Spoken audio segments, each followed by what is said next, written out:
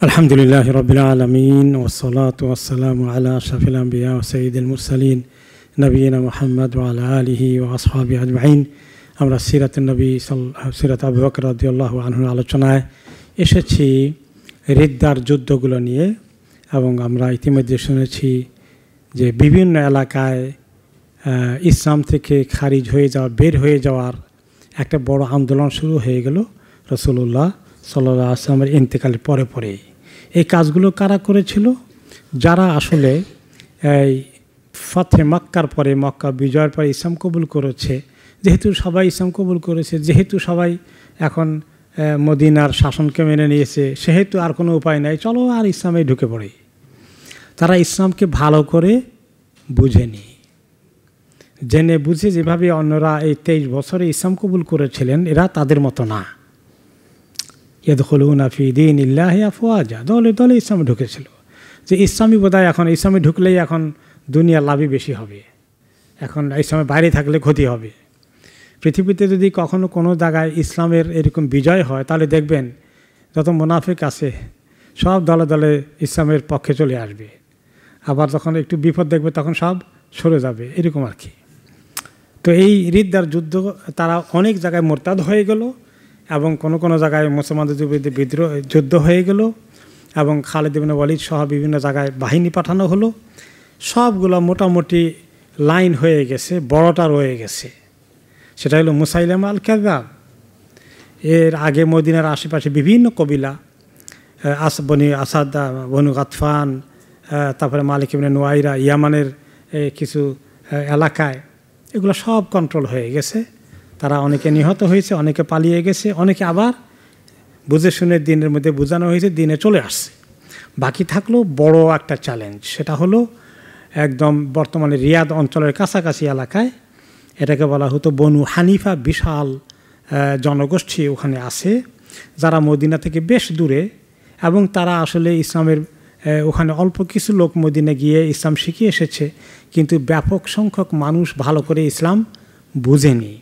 আর এই সুযোগকে কাজে লাগিয়েছিল মুসাইলাম আল কাজাব এবং আমরা আগে শুনেছি যে তার ভিতরে খুব খাহেশ হয়ে গেল যে রসুল্লাহ সাল্লাহ আসলাম কোনো সময় মরে গেলে যদি সে খেলাফত পেয়ে যায় মানে সে নবী হয়ে যায় ওনার পরে, এটা আমরা গত সপ্তাহে বা তার আগের সপ্তাহে শুনেছি, তাই না? সে বলেছিল যে মদিনা এসে যে আপনি হয়তো একটা করেন যে আমাকে আপনার পরে খেলাফত দিয়ে যান, আমি নবী হব। আর নতুবা কমপক্ষে আমার সঙ্গে আপনার শেয়ার আছে, এটাও লিখে যান, ভাগাভাগি করে নেই আমরা। তো নবী করিম সাল্লাহ আলি সাল্লাম এটা প্রত্যাখ্যান করেছেন এবং তিনি ইঙ্গিত দিয়েছেন সাহাবাদেরকে যে এরকম ফেতনা আসবে। তো ওই ফেতনাটা তখন মাথা চাড়া দিয়ে উঠল রসুল্লাহ সাল্লাহ আলসালামের ইন্তেকালের পরে পরে এই তো সুযোগ এবং সে বেশ জমিয়ে ফেলল। তার এলাকার অধিকাংশ জাহেল মানুষগুলো তার দলে ঢুকে পড়ল। তো এখন ছোটোখাটোগুলো, বিভিন্নগুলো ক্লিন করে এরপরে আবু বকর আনহু ওনাকে হুকুম পাঠালেন যে তুমি চলে যাও এখন বনু হানিফার দিকে। সেখানে গিয়ে তাদের বিরুদ্ধে ইয়ামামা এলাকায় চলে যাও, যে ওই এলাকার নাম ছিল ইয়ামামা। তারপরে তিনি চিঠি লিখলেন। অবকরাদের অনুমোদিনার থেকে চিঠি লিখে পাঠালেন একজন পত্রবাহককে দিয়ে। যার মাধ্যমে পত্র পাঠিয়েছিলেন তিনি হচ্ছেন সোরাইক আল ফুজারি রাজি আল্লাহ আনহু। তিনি বলেন, আমাকে আবু বকর রাদিয়াল্লাহু আনহু চিঠি লিখে পাঠালেন খালেদের কাছে, যিনি তখন বিভিন্ন এলাকায় মোটামুটি গাতফান অন্যান্য এলাকায় ওদেরকে কন্ট্রোল করে ফেলেছেন। তারপরে তিনি তখন লিখলেন চিঠির মধ্যে আমি তোমাকে, আল্লাহ তালা তোমাকে যে বিজয় দান করেছে, বাজাখা এলাকায় এবং আসাদ এবং গাতফান, এই সমস্ত কবিলার ওখানে তুমি যেভাবে সব কন্ট্রোল করে এসেছ, এখন তুমি চলে যাও ইয়ামামা অঞ্চলের দিকে। আমি তোমাকে এই চিঠি দিয়ে এই ফরমান দিলাম। আহদি ইলাইকা ফাত্তাকিল্লাহ ওয়াহদাহুল্লা শারিকালাহ আমি তোমাকে কিছু নসিহত করি যে একদম সব সময় সর্বদা আল্লাহকে ভয় করে চলবা। খালেদ রাদি আল্লাহ আনহু খুব সাহসী ব্যক্তি ছিলেন সাহসের কারণে মাঝে মধ্যে উনি অনেক বেশি যদুর করা দরকার তার চেয়েও বেশি করে ফেলতেন। তা আল্লাহকে ভয় করবে সবসময়, তার কোনো শরিক নেই। ও আলাই কবির রেফ কেবিমান মা কামিনাল মুসলিমিন। আর তুমি তো খুব সাংঘাতিক, শক্ত কমান্ডার। তবে তোমার সঙ্গে যে মুসলিমরা আছে, ওদের সঙ্গে কিছু তুমি নম্রতার আচরণ করো। খুব বেশি কড়া শাসন দিয়ে তাদেরকে তুমি পরিচালনা করো না। তুমি কিছুটা বিনয় এবং নম্রতার মাধ্যমে চলো। কুনলাহম কাল ওয়ালেদে তাদেরকে তোমার, তুমি তাদের পিতার মতো, পিতা যেভাবে সন্তানদেরকে শাসন করে ঠিকই, কিন্তু অনেক আদর করে, তাদের কোনো যেন কষ্ট না হয়, অনেক মঙ্গল কামনা করে, এরকম করে তুমি তাদের সঙ্গে চলবা। যে তুমি তাদের পিতা, তারা তোমার সন্তান, সন্তানের কোনো ক্ষতি হোক, কেউ কি চায়? না। এরকম করে দায়িত্ব পালন করো। ওয়াইয়াকা ইয়া খালেদ মিরাল ওয়ালিদ নখুয়া ইবন ইবন মুগিরা ফাইনে কাদ আসাই তুফি কামে মাল্লাম আসিহি ফিসাই ইন কাত্তু যে আমি তোমার ভিতরে দেখেছি যে তোমাদেরকে তোমাকে আল্লাহ সেই তৌফিক দিয়েছেন। ফাউন্দুর ইরাবানি হানিফা। একে তুমি এখন চলে যাও বনু হানিফার দিকে। গিয়ে সেখানে দেখো ঈদ আলাকি তাহুম ইনশা আল্লাহ তাদের সঙ্গে তোমার দেখা সাক্ষাৎ হলে ফাইনিকাল্লাম তালকা কাউমান ইয়াস বাহুনা বনি হানিফা কুল্লুহুম আলাইকা। আল্লাহম বিলাউদ্দিন ওয়াসিয়া। সেখানে গিয়ে তুমি দেখবে যে এই সমস্ত এলাকার তুলনায় সেটা অনেক কঠিন এলাকা। সেখানে ব্যাপকভাবে সব কিছু উল্টে গেছে। সেখানে বিশাল দেশ, এর আগের যে যেগুলো তুমি মোকাবিলা করেছ, এগুলো এক এক জায়গায় এক একটা খণ্ড খণ্ড ছিল।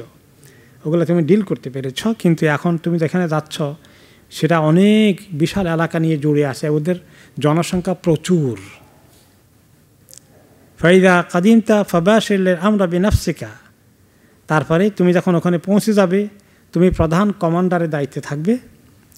ওয়াজা আলা আলামা থেকে রাজুলান ও আলামা থেকে রাজুলান তুমি তোমার একটা স্ট্র্যাটেজি ঠিক করে দিবা। ডান দিকে একজন তোমার আন্ডারে আরেকজন সাব কমান্ডার নিযুক্ত করবা। আরেকজনকে এক দল দিয়ে তোমার বাম পাশে দিবা, আরেক সাব কমান্ডার নিযুক্ত করে। ওয়াজা আল্লাহ আলা খাইলিকা রাজুলান আর তোমার ঘোড়া বাহিনীকে, ঘোড়াগুলোকে দেখা সাক্ষাৎ করার জন্য যুদ্ধের আগে পরে, তার জন্য একজনের জিম্মাদারি দেওয়া, সে তার কাজ হবে ঘোড়াগুলোকে দেখাশোনা করা, তাদের খাবার দাবার সাপ্লাই করা।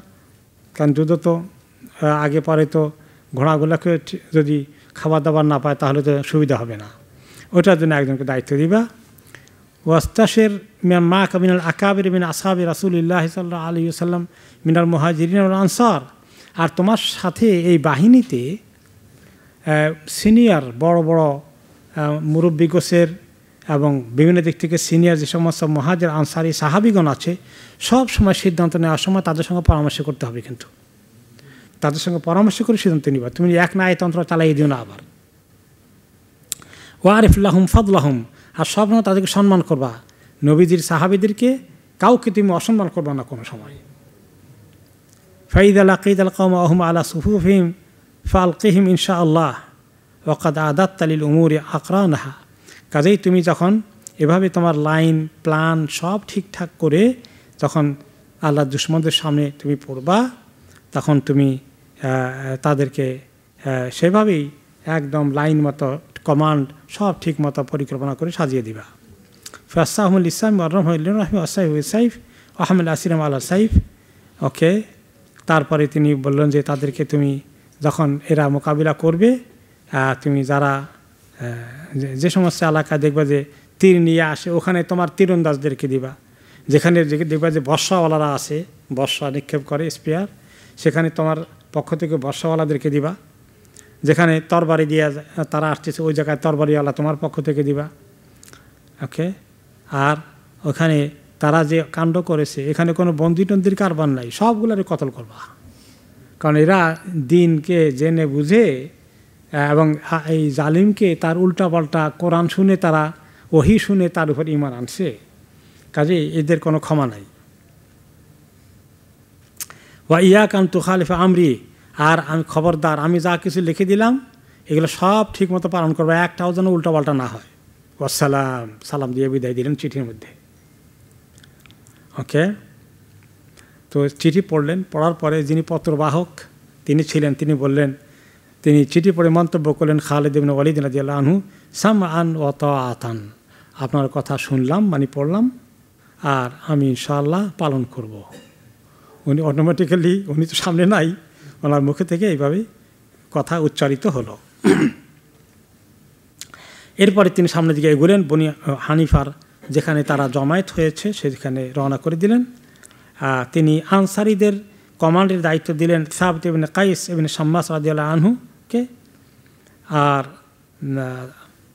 তিনি ওয়াসাইয়ার সিদ্দিকা জাইশান কেসিভান মুজাহাদান বি আহদাসি সালাহ লিয়াহমা জাহরার খালেদ অপর দিক থেকে মদিনা এই চিঠি লেখার পরে তিনি খালেদ রাজিয়াল আনহু যতজনকে নিয়ে আসছিলেন তার পেছন দিক থেকে তিনি আরও বিশাল বাহিনী তৈরি করলেন।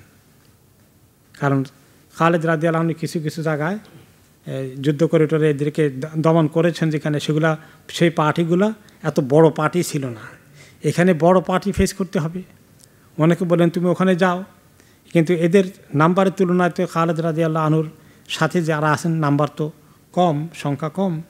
তিনি ইতিমধ্যেই খুব অস্ত্র শস্ত্র যা ছিল আরও মদিনায় জোগাড় করে, খরিদ করে এনে আরও কিছু বিশাল বাহিনী ওনার পিছনে পাঠালেন।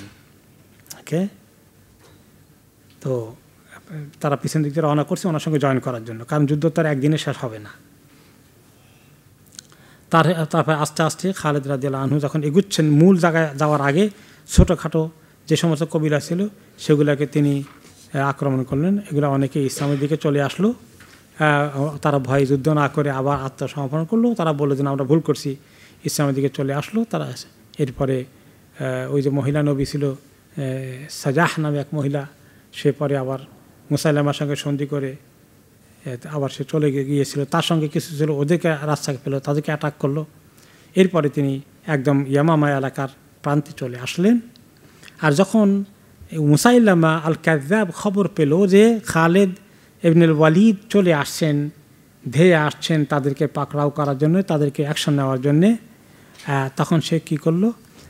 আকরবা নামে এক এলাকায় যেখানে একটু সেফ থাকবে মনে করল, তার দিক থেকে যে যুদ্ধের মধ্যে ওই জায়গায় থাকলে সে কিছুটা তার পক্ষে সুবিধা হবে পালানোর রাস্তা থাকবে বা আশ্রয় নেওয়া যাবে, ওরা আসতে ওখানে একটু কষ্ট হবে এইরকম একটা জায়গায় অবস্থান নিল।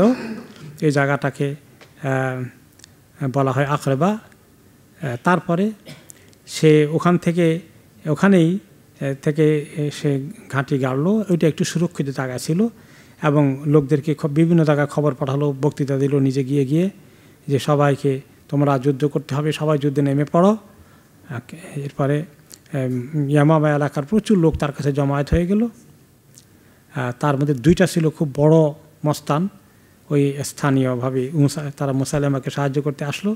একটা নাম হলো মাহাক্কাম ইবনে তোফাইল আর রাজ্জাল ইবনে অনফুয়া আর রাজ্জাল ইবনে অনফুয়া হলো ওই লোক যে লোকে মদিনা থেকে মদিনা আসছিল, এসে সে রসুল্লাহ সাল্লাহ আসলামের সঙ্গে যখন মোসাইলামার এই কথা হয়েছিল, তখন সে বলছে, সাক্ষী দিছে যে, না, আমি সাক্ষী যে মোহাম্মদ সাল্লাহ আলি সাল্লাম মৃত্যুর আগে বলে গেছেন, তারপরে মোসাল্লামা নবী হবে।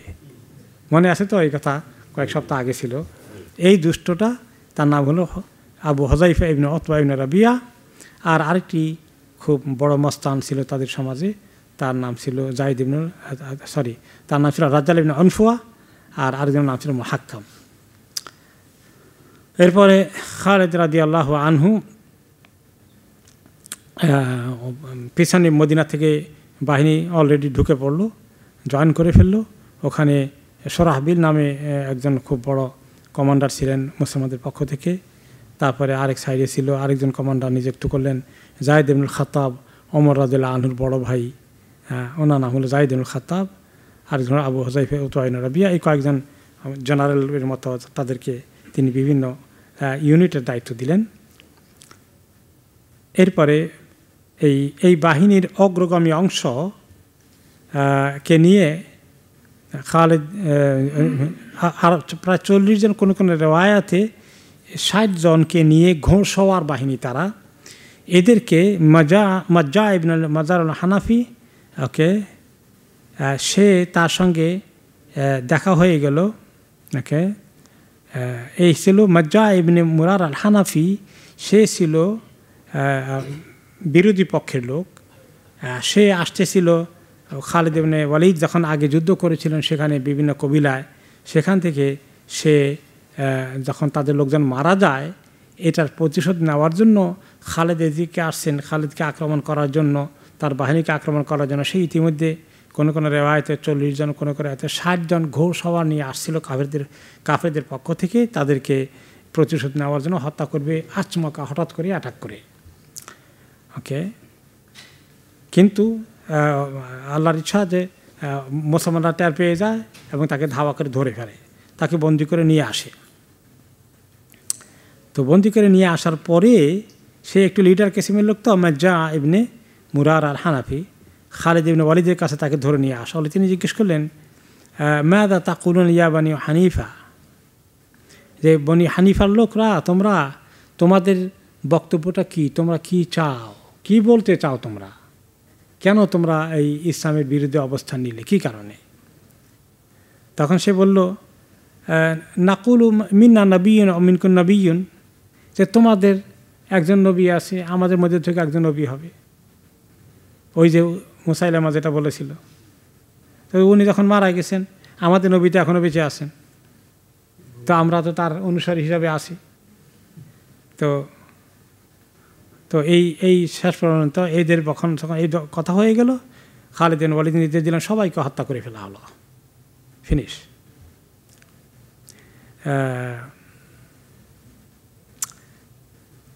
তো তা কোনো কোনো রেওয়াজ আসছে খালেদ যখন জিজ্ঞেস করেন মাতা আর তুমবে না যে, তোমরা কখন টের পেলে আমরা এদিকে তোমাদের এলাকায় আসছি?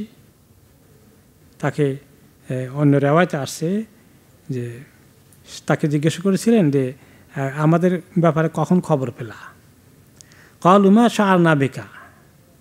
আসলে আমরা তো তোমার ব্যাপারে কিছু জানি না, জানতেই পারিনি। ইন্নামা খারাজ সারাফিমান হাউলানা মিন বনি আমির তামিম। বরঞ্চ আমরা তোমাদেরকে ফেস করতে আসিনি বা ওই যে দুই কবিলা তোমাদের পক্ষে গিয়েছে, তারা তো আমাদের সঙ্গেই ছিল। এখন তোমাদের উল্টে গিয়েছে। এই জন্য ওদেরকে আমরা প্রতিশোধ নিতে এসেছিলাম। তোমাদেরকে প্রতিশোধ আটক করা আমাদের উদ্দেশ্য ছিল না। তো খালে তাদের তার কথা বিশ্বাস করলেন না।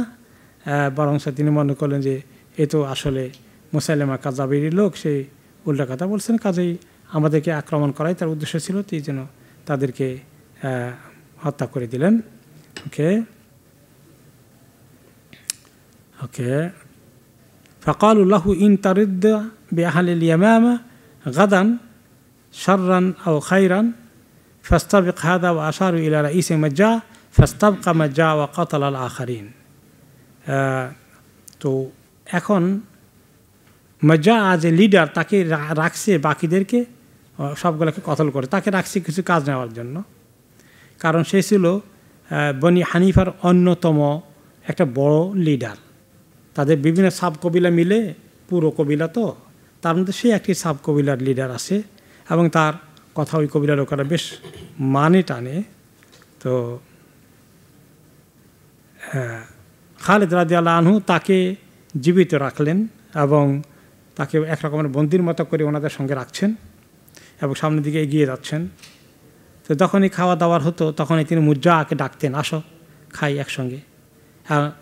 খেতে খেতে তার সঙ্গে কথাবার্তা বললে উনি চিন্তা করতেছেন যে সে যে আসছিল এদেরকে নিয়ে, তার মাথায় আর কি আসে তার থেকে কিছু খোঁজখবর নেওয়া যায় কি না?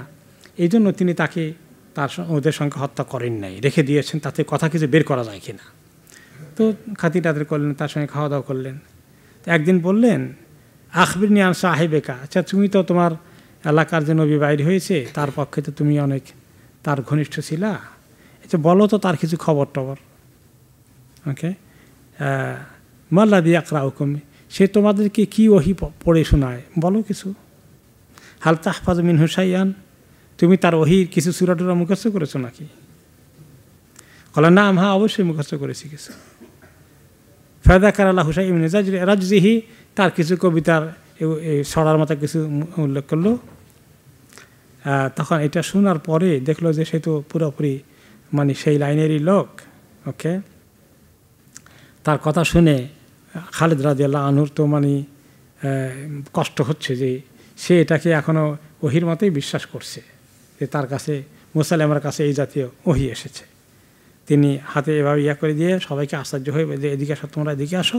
ইয়ামা আসাল মুসলিমিন ইসমা উইলা আদু উইল্লা কাইফা ইয়ারদুল কোরআন। সোনা আল্লাহর দুশ্মন মোসাইলেমা কী কোরআন বানিয়ে আমাদের কোরআনের মোকাবিলা করে? এর থেকে আমরা এখন একটু শুনব। সে কিছু নাকি মুখস্থ করেছে। ওকে? ফিমা ওই হাগায় মাজা আরা কারাজুলান সাইয়েদান আ কেলান হ্যাঁ? ইসমাইলা কিতাবের আজাল এই মাজা শোনো, তোমাকে তো আমি দেখি যে তুমি তোমার বেশ চালাক, বুদ্ধিমান মানুষ তুমি। তুমি একটা বেকুফ না, কিন্তু বুঝতে পারলাম না যে তুমি এরকম একটা জ্ঞানী মানুষ হওয়া সত্ত্বেও, একটা চালাক, বুদ্ধিমান মানুষ হওয়া সত্ত্বেও, কীভাবে আল্লাহর দুশ্মনে তোমার উল্টোপাল্টা কী বলল, ছড়া বানিয়ে দিল, আর তুমি এটা ওহি নাজিল হয়ে গেছে তার উপরে বিশ্বাসও করলা। শোন, আল্লাহর ওহি কীরকম জিনিস আমি তোমাকে তেলাওয়াত করে শোনাই। তখন তিনি সুরা সাব্বেহেস মারাবিকাল আলা কিছু অংশ পড়ে শোনালেন ওকে فقال سبح سبح اسم ربك الاعلى الذي خلق فسوى والذي قدر فهدى والذي اخرج المرعى কি সুন্দর অর্থ এবং কি সুন্দর শব্দগুলো তো ফাকালা মুজ্জা আমা ইন্না রাজুলাম মিন আহলিল বাহরাইন কানা ইয়াকতুব পরে শোনো আসল কথা তোমাকে বলি ওই আমাদের ওই মুসাইলামাও এত শিক্ষিত আহামরি কিছু না সে যেগুলো বানিয়েছে ছড়া এগুলো তার নিজের বানানো না এগুলো আরেকজন থেকে ধার করে নেওয়া। পেলে কার থেকে নিয়েছে? বলে সেটা হলো যে, আমাদের মধ্যে একটা লোক এসেছিল, সে বাহরাইন এলাকায় থাকে। সে লেখাপড়া কিছু জানে, কবিতা টবিতা টুকটাক চন্দ্রটন্দ্র লেখার প্র্যাকটিস আছে। তাকে ধরলো মুসাইলামা যে তুমি লেখো, এগুলো আমার জন্য একটু ওহি হিসাবে আমি সেল করার চেষ্টায় আছি। হ্যাঁ? সো মুসাইলামা তাকে খুব পজিশন দিয়ে, এটা তার জন্য অনেক সম্মান করে, তাজিম করে খাবার দাবার দিয়ে ব্যবস্থা করলে। আসে এগুলো কিছু কিছু লেখে। তারপরে ফাঁকান ইয়াকরুজ এলাইনা ফাইয়াকুল যে কোনো কোনো সময় সে তার কাছ থেকে এসে এগুলা বলতো মোসাইলাম যে আমার কাছে একটু আগে ওহি নাজিল হয়েছে। আমরা তো প্রথমে এরকমই মনে করেছিলাম। কিন্তু পরে আমরা ওই লোকটা যে লোকটা লিখে লিখে দিত, তাকে গোপনে রাখতো, ভিতরে প্রকাশ করতো না। যে তুমি ভিতরে সেফ থাকো, আমি তোমার খাবার দাবার উপর ঢুকন যা দেওয়ার দেবো, খালি এগুলো তুমি লেখো। হ্যাঁ তো এইগুলো তার ওহি হবে আর কি। বলে যে, শোনো, এই ওই যা বলতেছে এখন, যে ওই লোকটা আমাদেরকে একসময় বলে দিছে, যে তোমার ওই তোমাদের মশাই আমার ওহি কোথেকে আসে জানো? আমার কাছ থেকে আসে। ওকে? ওই হাকুম ইয়াহলা উম ইয়ামামা, সাহেবিকুম আল্লাহ কাজাব এই ইয়ামামার বাসিন্দারা, তোমাদের যে নবী দাবিদা এটা আসলে বড় মিথ্যাবাদী। ওমা আদিনুকুম তাহিমুন ইয়া আলাইহে ওকে আর তোমার আমি যে বলতেছি, তোমরা মনে করো না, আমি কথা বানিয়ে বলছি।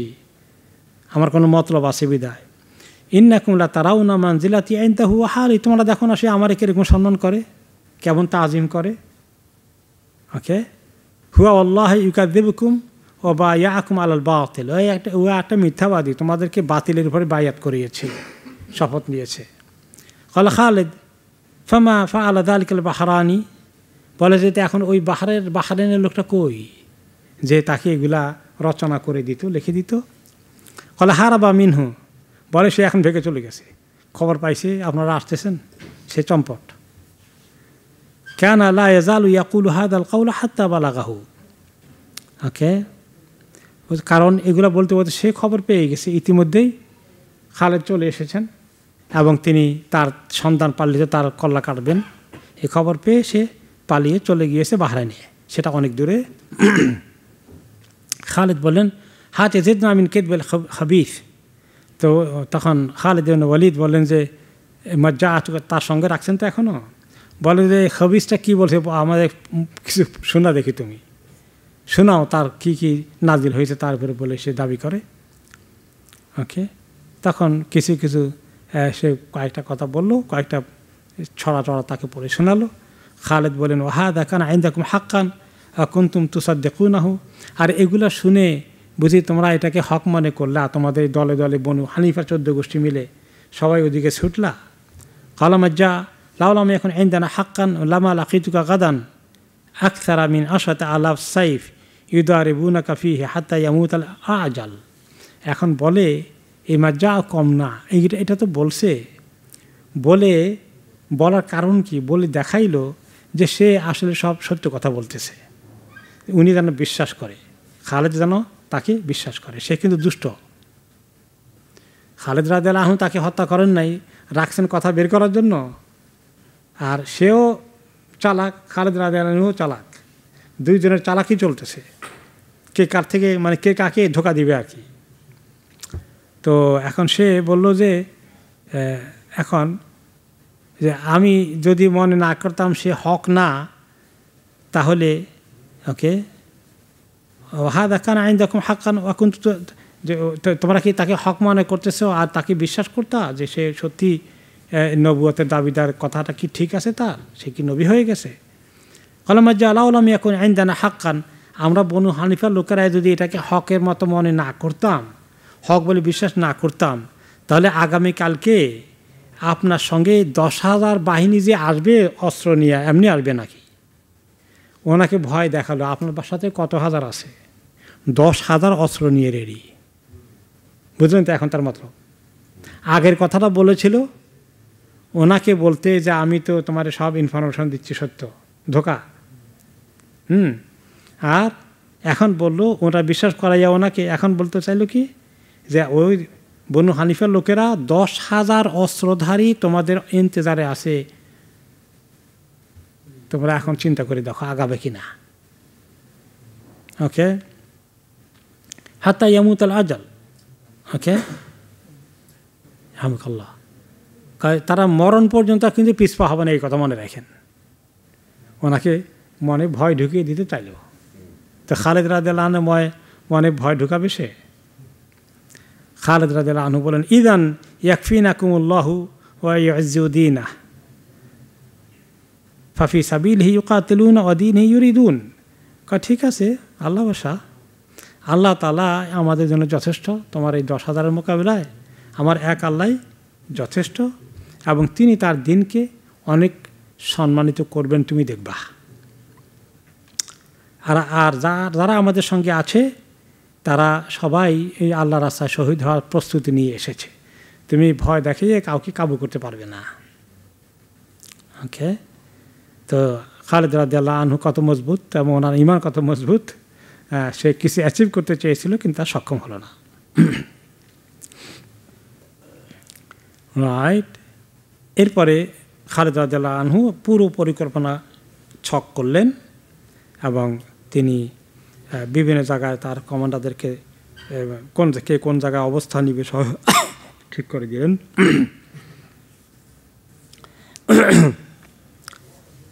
ওকে طيب فبعث زياد بن لبيد وكان صديقا لمحكم بن الطفيل سيد أهل اليمامة يقصد بقصد أن يكسبه إلى جانبه okay. খালিদ ইবনে ওয়ালিদ রাজি আল্লাহ তালা আনহুর এই খবর পেয়ে জিয়াদ ইবনে লাবিদ আরেকজন তাদের মধ্যেই আছে। সে মহকাম নামে ওই লিডারের খুব ঘনিষ্ঠ বন্ধু ছিল এবং সে ইয়ামামের একজন অন্যতম বড় লিডার।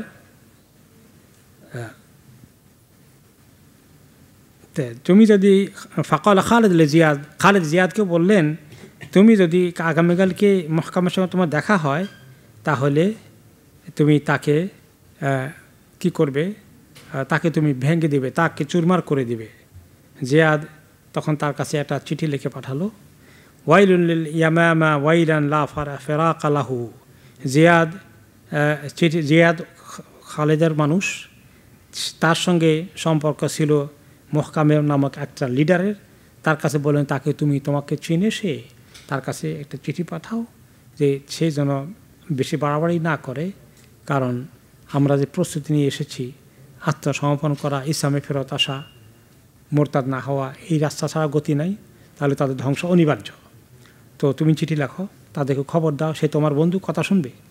সে আরেকজন লিডার ইয়ামামার তখন জিয়াদ চিঠি লিখলেন, ওয়াইলুল ইয়ামামা ওয়াইলান লা ফেরাক আলাহু ইয়ামামা অঞ্চলের উপরে কিন্তু মুসিবত নাদিল হয়ে যাচ্ছে। তাদের ধ্বংস অনিবার্য।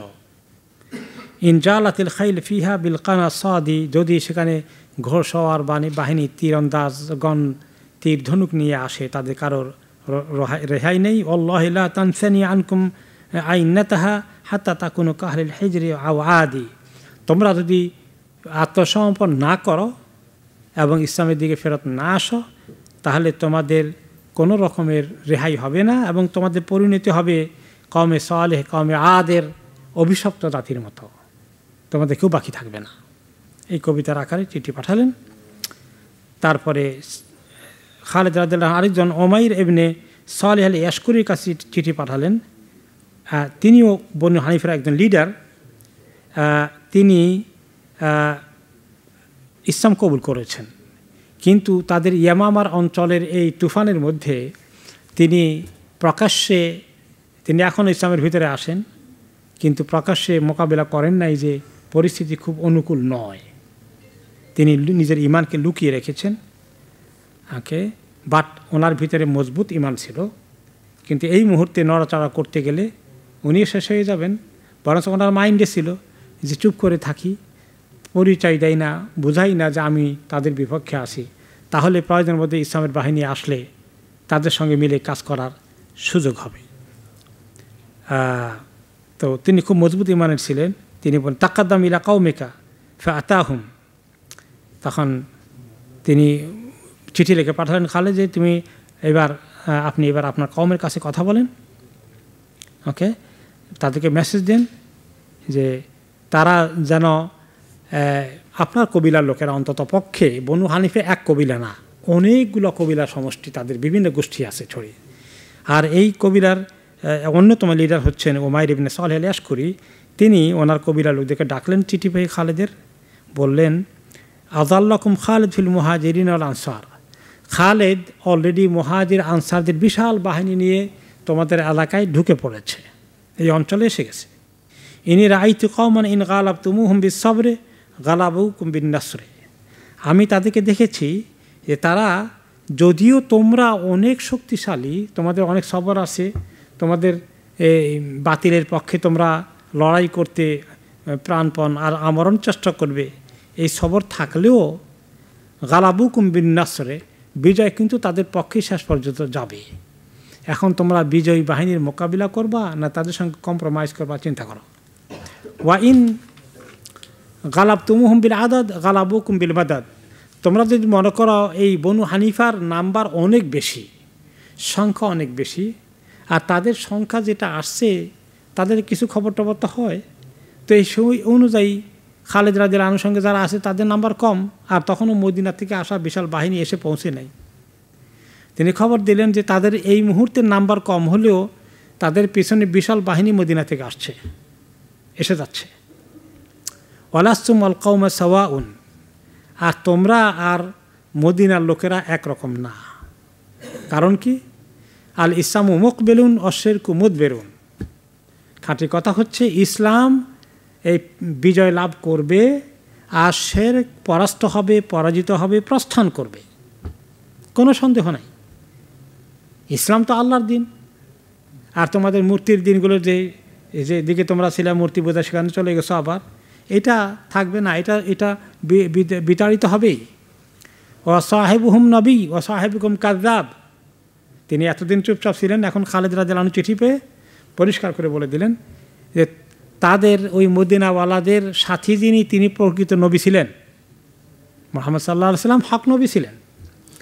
ও সাহেবকুম কাজা বা তোমাদের এই যে, এই মোসাইলামা নবী দাবি করেছে তো বড় মিথ্যাবাদী। কোনো ওহি টহি তার কাছে আসেনি। ও মা আহমদ সুরুর মা আকুমুল গরুর তারা ইমানকে পেয়ে অনেক তারা খুশি, তারা ইমানের খুশি ইমানকে নিয়ে তারা বলিয়ান আসে। ও মা আকুমুল গরুর, তোমাদের কাছে আসে শুধুমাত্র কিছু গর্ব অহংকার? যে তোমরা খুব শক্তিশালী জাতি বনু হানিফা আরবদের মধ্যে। কিন্তু তোমাদের এই গুরুর তাকাব্বর কাজ করবে না। ফাল আনা ওয়া সাইফ ফি গামদিহি। ওয়া নবুল ফি জাফিরহি কাবলান ইয়াসিল্লা সাইফ ও ইয়ারমি বিশ্বাম শোনো, কাজেই এই যুদ্ধের জন্য না গিয়ে আত্মসমর্পণ করো, ইসলামের দিকে চলে আসো। এখনও তাদের তীরগুলো আমাদের দিকে ছড়া হয় নাই, ওগুলো এখনও থলের ভিতরে, প্যাকেটের মধ্যে আছে। তাদের অস্ত্র এখনও খাপের ভিতরে আছে। আমাদের মাথার উপরে এখন আসে নাই, সময় আসে জলদি করে ডিসিশন নাও, কোন দিকে যাবা। তো উনি বক্তৃতা করে তাদের অনেকটা মানে কিছুটা তারা দুর্বল হয়ে আসলো। অপরদিক থেকে খালেদ রাদি আল্লাহ তালা আনহু, সুমামা ইবনু উসাল হানাফিকে কথা বললেন যে আপনি যান এবার। উনি ওই যে মদিনা ইসলাম কবুল করেছিলেন, মনে আছে তো? বন্দি থাকা অবস্থায়। উনিও বনি হানিফার একজন বড় লিডার উনি আবার ওনার কাছে খালেদ কথা বললেন যে, আপনি এবার যান, আপনার কমের কাছে। তাদেরকে আত্মসংগ্রহ করতে বলেন। ওকে? আর তাদের মধ্যে যদি কোনো যুদ্ধের মানসিকতা থাকে, এগুলো থামাই দেন। বলে দিন, লাভ হবে না। যা পারেন, বুঝান। তিনি সেখানে আসলেন, এসে বললেন ইন্নাহুলা ইস্তামুনবিয়ান বি আমরিন ওয়াহিদিন। শোনো, একই সময়, একই রেসালাতের রেসালাতের মধ্যে দুই নবীকে আল্লাহ একসঙ্গে পাঠানোর কথা নয়। ইন্না মুহাম্মাদান সাল্লাহ আসলাম নবী বাদাহু ওলা নবী মুরসালন মা আহু নবী মোহাম্মদ সাল্লাহ আসলাম আখরি নবী। ওনার পরে কোনো নবী আসবে না। আর ওনার সঙ্গে যৌথভাবে কাকে নবুয় দেওয়া হয়নি। ওকে? বাসা ইলাইকুম আবু বকর রাজুলান, লা ইসামি বিস, লা ইসামা বিসমিহি ওলা বিসমি আবিহে। তিনিও খুব সুমামা, খুব সাংঘাতিক, জ্ঞানী, চতুর মানুষ, তিনিও বুদ্ধিমান। তিনি বলেন, শোনো, যাকে কমান্ডার করে আবু বকর আদাল আনহু পাঠিয়েছেন, মদিনার যিনি এখন শাসক এমন লোককে পাঠিয়েছেন, জানো তার নাম কি? তার নামে লোকেরা তাকে চিনে না, তার টাইটেল আরেকটা আছে। বলে, কি টাইটেল তার? যে তার টাইটেল হলো সাইফুল্লাহ, আল্লাহর অস, আল্লাহর সুরি আল্লাহর তরবারি। এই লোকে তিনি কমান্ডার করে পাঠিয়েছেন। তার নামই হলো আল্লাহর তরবারি। যেখানে গেছে সব শেষ। মা হুসুইফুন কাথিয়েরা তার সঙ্গে যে কী পরিমাণ সশস্ত্র যোদ্ধা আসছে সাহসী, চিন্তা করতে পারবা না। ফামদুরুফি আমরিকুম। এখন তোমরা চিন্তা করো, কী করবা? তাহলে উনি এভাবে চতুর্দিকে লোক পাঠাচ্ছেন। উনি তো সাংঘাতিক, সমরবিদ, বিচক্ষণ। ওহাতামা খালিবে তাদের খোদাতুল মহকামা, ইতিমধ্যেই তিনি প্রস্তুতি ফাইনাল করতেছেন কোন জায়গাতে, কোন জায়গায় কীভাবে অ্যাটাক হবে, কার নেতৃত্বে কোন দিকে দাঁড়াবে। এই ছোটোখাটো এলাকা তো না, বিশাল খোলা এলাকা। তিনিও আবার তিনি, এই এই দুশ্মনদেরকে তিনি মনে করতেন এরা হালকা কিছু। ওদের, ওরা অনেক শক্ত। এটা জানেন। খুব নাম করা ছিল আরব দেশের মধ্যে এই ইয়ামামার, এই দুষ্টগুলো। আর তিনি খুব পাহারা দিতেন, সব জায়গায় গোয়েন্দা লাগিয়ে দিয়েছেন। হঠাৎ করে তারা যদি রাতের অন্ধকারে এমনি করে আক্রমণ করে ফেলে, এগুলো সব তিনি মাইন্ডে রাখেছেন, সিকিউরিটি রেখেছেন, পাহারাদার রেখেছেন। এমনকি তিনি নিজে কান আলা ইয়ানাম ওলা ইয়াবিত ইল্লা আলা আবিয়া তিনি ভালো করে বিছনা শুয়ে ঘুমাতেন না, নিজেও প্রায় অনেক রাত্র জেগে থাকতেন এবং খুব সতর্ক থাকতেন যে দুশ্মনের নড়াচড়া কোন দিক থেকে কোথায় যাচ্ছে এগুলো সব কিছু তিনি অবজার্ভ করতেন। ওকে এবং তিনি কিছু কিছু লোককে ঠিক করেছেন যে তারা তাদের ভিতরে গিয়ে যাওয়া আশা করবে ছদ্মবেশে, যাতে বুঝতে না পারে ওনার পক্ষ থেকে এই মানে ইন্টেলিজেন্স গোয়েন্দারা খবর আনে দিত, তারা কোন হালতে আসে তাদের পরিকল্পনা কী? তিনি সাংঘাতিক এক্সপার্ট এই বিষয়ে।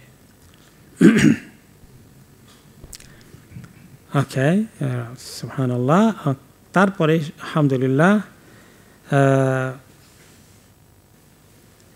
তিনি ডিসিশন নিলেন ফাইনাল অ্যাটাক করবেন, এবং মহিলাদেরকে সাথে যারা ছিল তাদেরকে তিনি এবং সেখানে কিছু বাহিনী রাখছেন। উট টুট এগুলাকে পাহারা দেওয়ার জন্য সেখানে কিছু সশস্ত্র বাহিনী রেখেছেন। এরপরে কাউকে মাঝখানে লিডার করেছেন, কাউকে শেষের গ্রুপে লিডার করেছেন, কাউকে সামনে গ্রুপে লিডার করেছেন, কাউকে ডানে, কাউকে বামে, সব ঠিক করে দিয়ে ফাইনাল মা রাখা ফাইনাল অ্যাটাকের জন্য তিনি রেডি হয়ে গেছেন। এবং সেখানে তিনি তার বাহিনী যে জায়গায় অবস্থান নিয়েছে, সে জায়গায় তিনি চলে এসেছেন। এবং সেখানে এসে তখন ওই দিকে মোসাইলামার গ্রুপ সব যখন সমবেত হয়েছে তাদের ভিতরে কি চলছে? সেখানে মোসাইলামা বক্তৃতা করল তার ফলোয়ারদেরকে। আলিয়ামা ইয়ামুল গাইরাহ আজকে নিজেদের মা বোনের ইজ্জত রক্ষা করার দিন। আজকে তোমাদেরকে কোনো রকমে কোনো কম্প্রোমাইজ করা যাবে না। মানে খুব পরিবর্তিত করার চেষ্টা করল যে তোমাদের স্ত্রী পরিবার, ছেলে মেয়ে, আজকে স্ত্রীরা বিধবা হয়ে যাবে, ছেলেরা এতিম হয়ে যাবে।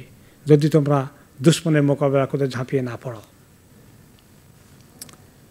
তারপরে এদিক থেকে খালেদ রাদেলান এগিয়ে আসছেন। তিনি জায়গা চুজ করলেন যে কিছুটা বালিয়াড়ি একটু উঁচু জায়গা আছে, ওইখানে উনি পজিশন নিলেন।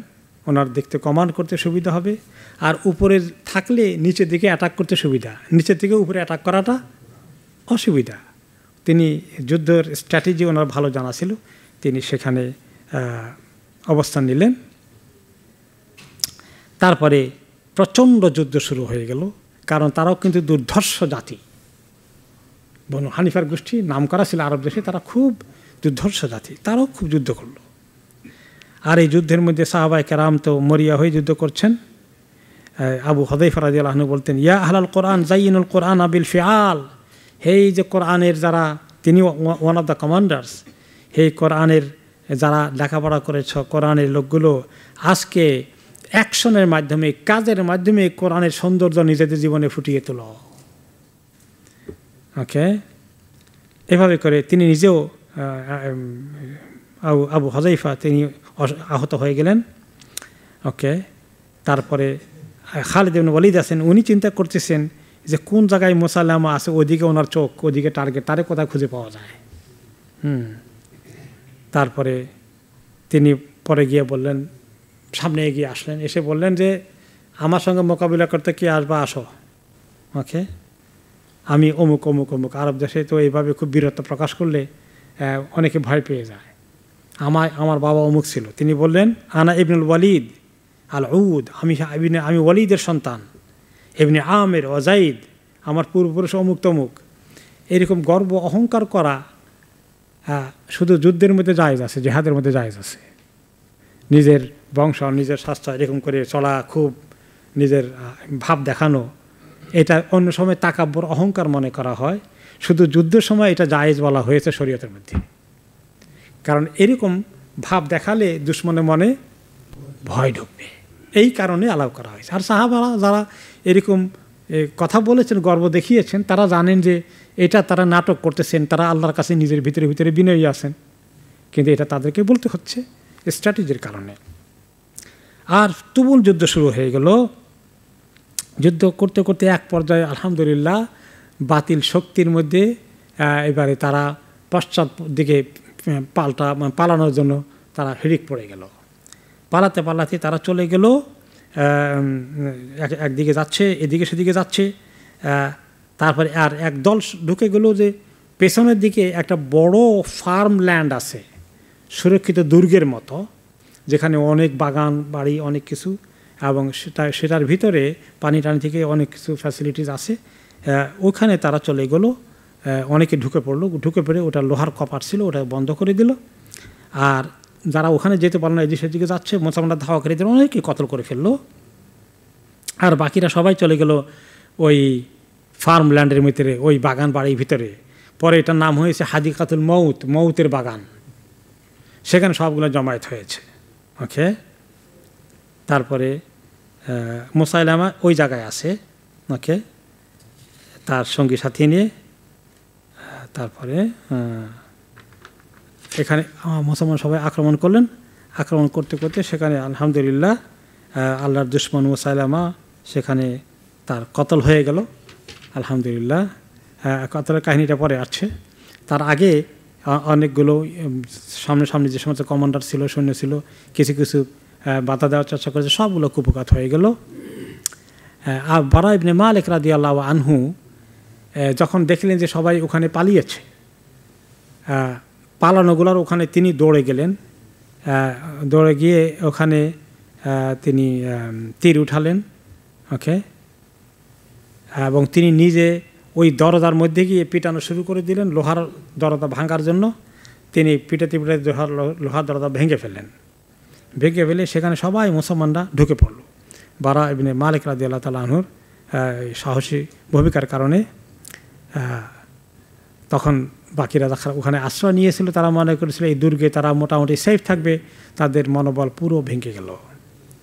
মুসলমানরা পৌঁছে গেল ভিতরে আর ওখানে গিয়ে দেখে যে মোসাইলামা একটা দেওয়ালের পিছনে সে একটু আশ্রয়ের মধ্যে আছে, এমনি করে দেখতেছে সে তার দেওয়ালের পিছনে তার উঁটে বসা আছে, সেখান থেকে কমান্ড করার চেষ্টা করতেছে। ওকে শেষ পর্যন্ত ওনার ওখানে চলে গেলেন। একজন ওকে ফাতাকাদম ওয়াশি ইবনে হারব মাওলা জোবাইর ইবনে কাতিল হামজা এখন ওয়াহশি হামজারাদের আনহু যে হত্যা করেছিলেন, তিনি তো পরে ইসলাম কবুল করেছেন এবং তিনি এই বাহিনীতে যোগ দিয়েছেন। এবং উনি প্রতিজ্ঞা করেছেন যদি আল্লাহ আমারে তৌফিক দেয়। আমি যে আল্লাহর একজন বড় বান্দাকে হত্যা করেছি। আমি যে আল্লাহর কাছে কত বড় অপরাধ করেছি। এটার কাজা কাফারা আদায় করার জন্য যদি মোসাল্লামাকে আমি কতল করতে পারি, হয়তো আল্লাহ আমাকে মাফ করবেন বা আল্লাহর কাছে আমি সম্মান পাবো। হুম। তখন সে টার্গেটে আসে। ওকে তখন সে তাকে আঘাত করল। আঘাতের সঙ্গে তার শরীর ঢুকে সামনের দিকে ঢুকে পেছন দিক থেকে বের হয়ে গেল বসা ওকে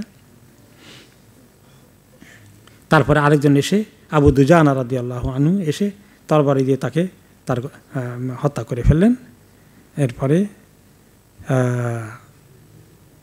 যখন তার সে মরে যায় বা তাকে হত্যা করা হয়, তখন একজন মহিলা, ওই আসলে এটাই কিন্তু উসামার মেইন মানে প্যালেসের মতো ছিল তার এটা একদম। তার বাসভবন ছিল ভিতরে এবং সেখান থেকে একজন মহিলা বেড়ে এসে বলল, ওয়া আমিরুল অদ্দ কাতালাহুল আব্দুল আসওয়াদ, আমাদের এত বড় লিডারকে এই কালো একটা কৃতদার বুঝি হত্যা করল। একটা ভালো মানুষ হত্যা করলে তো কিছু মানুষ থাকতো। নাউজবিল্লা এটা আর কি তার ভাব। ওকে?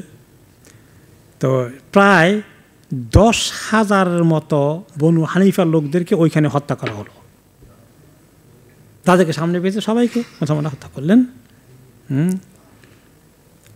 কোনো কোনো রেওয়াজ আসছে যে না, একুশ হাজার। তো এগুলো নিয়ে রেওয়াজ তখন তার এত একেবারে গনে গনে তারা ইয়ে করেন নাই, আন্দাজের উপরে। দশ থেকে একুশ হাজারের ভিতরে নাম্বার। আর মুসলমানদের পক্ষ থেকে প্রায় ছয়শো থেকে পাঁচশো থেকে ছয়শোর মতন শহীদ হয়েছিলেন। অনেক বড় বড় সাহাবি সেখানে ইন্তেকাল করেছিলেন। তারপরে আলহামদুলিল্লাহ সেখানে অনেক অনুমতি মাল নিয়ে ওনারা চলে গেলেন। আলহামদুলিল্লাহ বিজয় অর্জন হয়ে গেল। ইনশাল্লাহ আজকে আমরা এখানে শেষ করব।